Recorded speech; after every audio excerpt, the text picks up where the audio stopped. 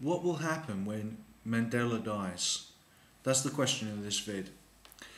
Well, we can say that the three events of Magersfontein was a, was a, a drawing of the line to stop the British in their expansion into uh, the Boer homelands.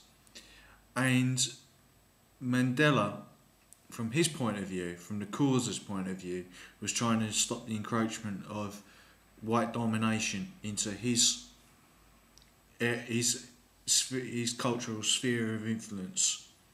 So he was a terrorist. The reason why he was locked up in in uh, Ellis Island was because he he blew up a train. He's gone on through this journey to become uh, through a poll the person that people would elect to become the world's president if they had the choice. Um, so much for MORI polls. But the problem is, is that what was the result of Mandela's rule?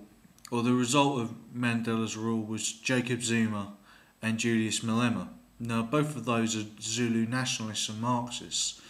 And then Mandela himself was a Marxist. He sung those anti white songs. He sung Kill the Boer, Kill the Farmer, those same songs as Julius Malema.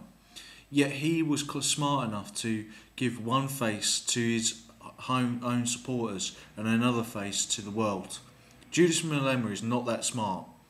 But Julius Malema is someone who believes in complete domination, just like the British did in the Boer War. The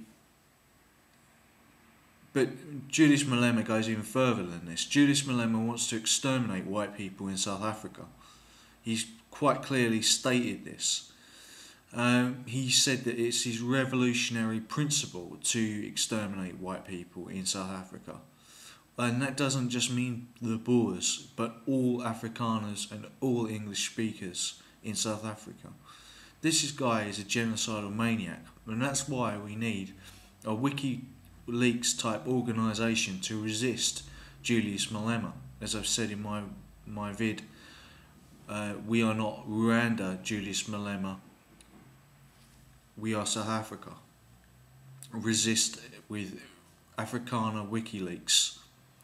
We need a, a intelligence-based organisation that is has a civilian outlook, right? Not a military outlook, but a civilian outlook of journalism, and that can gain, can infiltrate and subvert the ANC and create a wall of non-connections, of non-economic and non-political connections around that. How do we do that? We use people who work for us to do this, and those people thus follow our orders rather than the ANC's orders. We need to recruit Western educated black women to do this.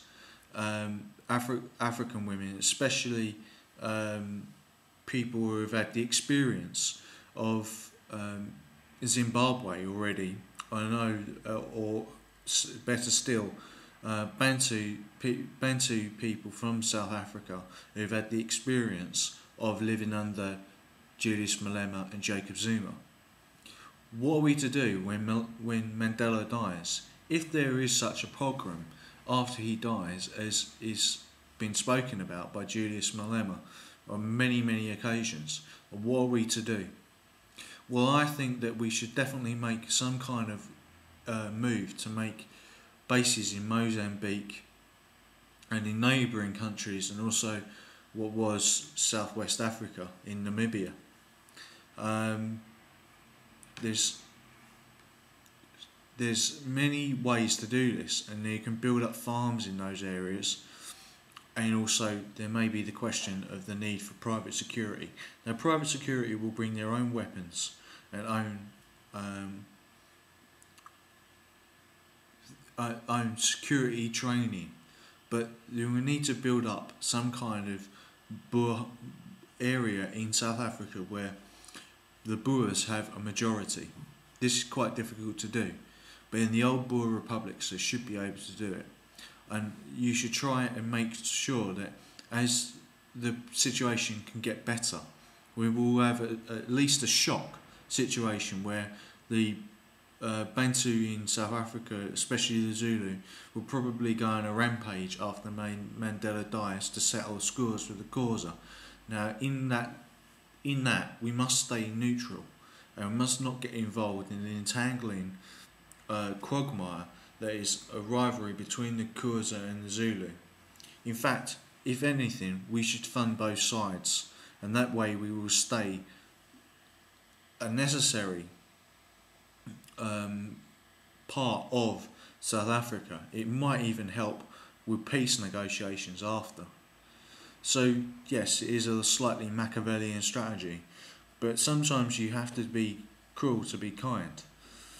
Um, the Eastern Cape of South Africa has been described by Renaldo as like Afghanistan and the Western Cape like the United States. Surely we must extol the virtues of the Western Cape and try and change the economic structures and the physical structures of the Eastern Cape to develop the Eastern Cape more to be like the Western Cape.